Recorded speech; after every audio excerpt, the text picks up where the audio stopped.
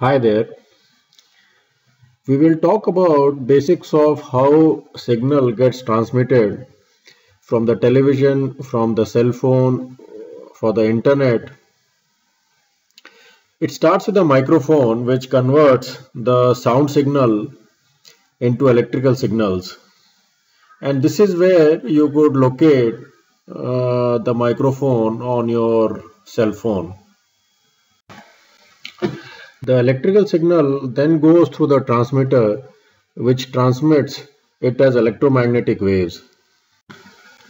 These waves are received by a nearby communication tower which strengthens and further transmits the signal.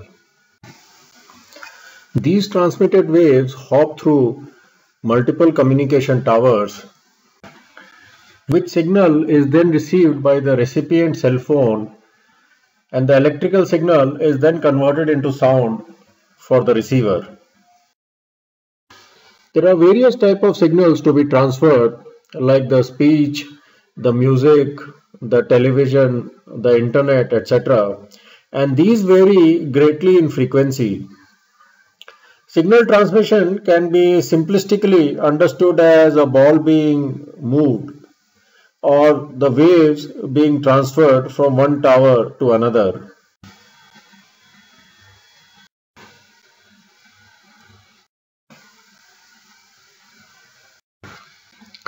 Now if the boys were stronger, they could throw a much longer distance. Similarly, if the waves are made stronger, they could travel much larger distances. The power radiated by antenna is proportional to the length of the antenna and inversely proportional to the wavelength of the wave.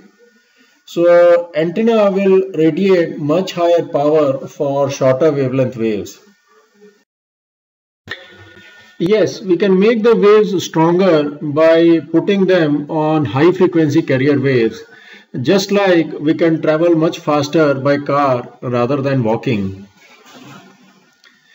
So we know that energy of a wave is directly proportional to its frequency and inversely proportional to its wavelength.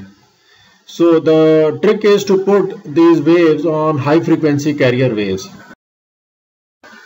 So the carrier waves that are used are in the region of 3 kilohertz to 300 gigahertz. And this is the electromagnetic spectrum uh, which is used for transmission in the communication systems. You will hear some of these words amplitude modulated, frequency modulated, very high frequency, VHF, etc. But don't bother about it just now and we will come to it shortly. The amplitude modulated waves operate in a frequency of about 1.5 megahertz or 1500 kilohertz and they are typically used for communication in computer modems, uh, submarine radios, etc. The frequency modulated waves operate in the region of about 100 megahertz and they are used for transmission in city radio stations, seismic prospecting, etc. The VHF or very high frequency waves are used for FM broadcasting, TV broadcasting, the ultra high frequencies are used for satellite communication, cell phone, TV, etc. And you will notice that the satellite communication coaxial cables and optical cables are also used for interconnection. And what it means is that they help in connecting multiple networks together. They are frequently used for this purpose. There are three type of carrier waves which are used for transmission. The surface waves are used for low frequency transmissions. The sky waves are used for intermediate frequencies and the space waves are used for high frequency transmissions.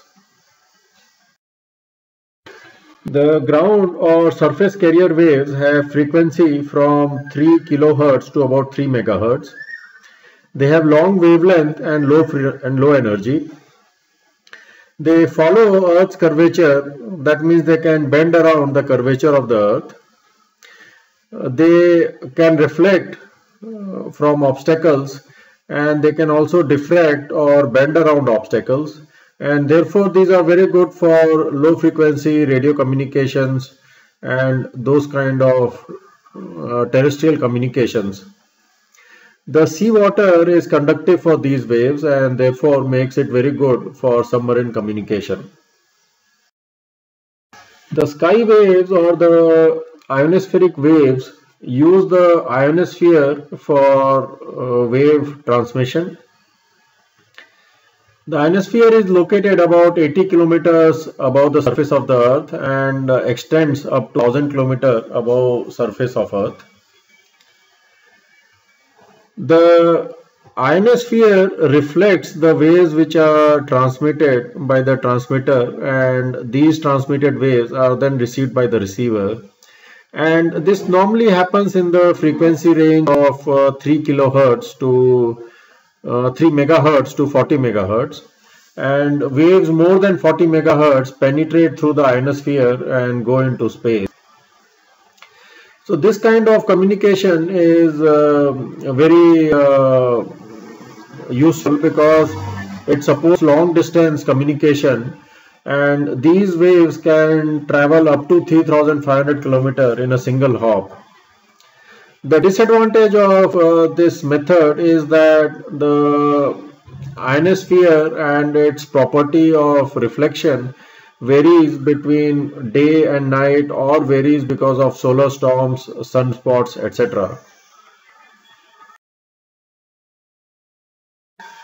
The space wave propagation uh, is also known as the line of sight propagation. Here one of the key things is that the antennas uh, should be in line of sight uh, for them to be able to transmit and receive signals.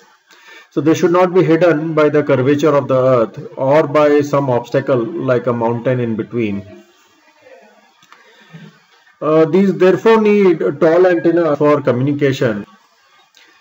And these are also used for satellite communication because here the satellite has a direct line of sight with the antennas on the ground. The frequencies at which space waves operate are typically more than 40 megahertz.